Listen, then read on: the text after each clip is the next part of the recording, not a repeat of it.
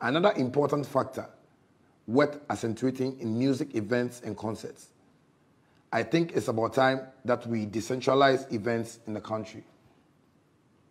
It must not continue to happen that all major music shows only happen in Accra.